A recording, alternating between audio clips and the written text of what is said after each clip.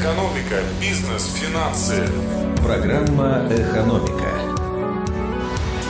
У микрофона Ольга Болезина. Здравствуйте. Директора Амутнинского МУПа подозревают в вымогательстве взяток на миллион рублей. Областное следственное управление сообщает о новых эпизодах, которые вскрылись в деле руководителя МУП благоустройства в Амутнинске.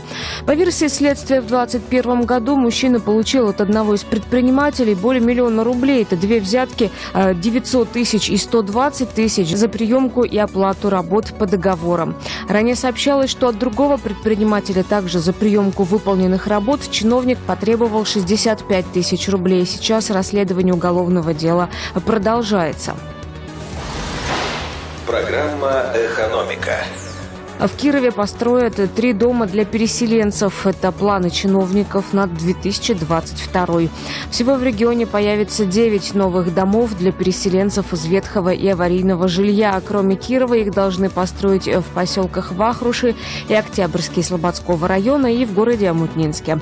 По словам чиновников, ключи от долгожданных квартир в этом году получат 2300 кировчан. Жилье для них будет не только строить, но и приобретать на вторичном рынке. Сейчас на переселение могут рассчитывать кировчане, чьи дома были признаны аварийными до 2017 года. Экономика. На 101 FM. Далее информация от наших партнеров. Открывая какой-либо бизнес, предприниматели часто сильно поглощены связанными с этим сиюминутными проблемами и не задумываются, как в дальнейшем будут содержать свое дело.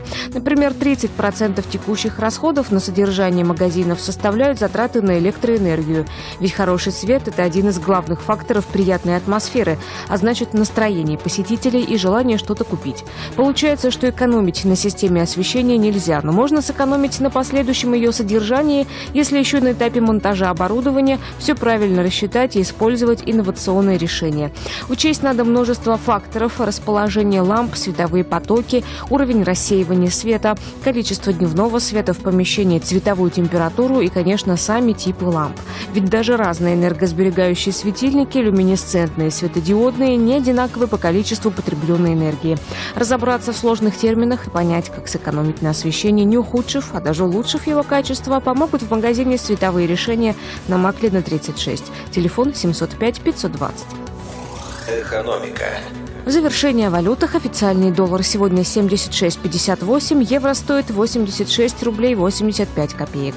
Ольга Болезина, новости экономики в Кирове. Программа «Экономика». На 101 FM.